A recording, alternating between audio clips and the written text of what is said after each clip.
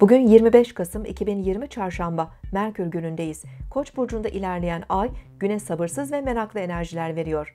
Kişisel isteklerimiz öne çıkarken ilişkilerde zaman zaman daha bencil ve dürtüsel eğilimler hissedebiliriz.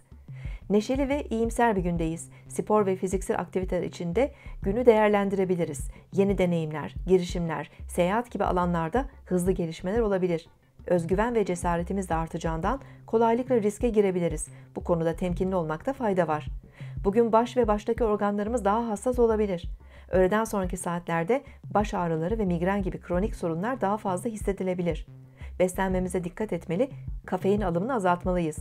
Akşam saatlerinde Ay Mars'la yakınlaştığında daha sabırsız ve stresli hissetmemiz mümkün. Bu durum dürtüsel ve tepkisel davranışlara da yol açabilir. İlişkilerde ani gerilimler yaşayabiliriz kaza ve sakarlıklara da açık olabileceğimiz gece saatlerinde daha sakin ve sağduyulu davranmaya çalışalım. Siz de şimdi kanalımıza abone olun, yorumlar bölümüne sorularınızı yazın, sürprizlerimizden haberdar olun.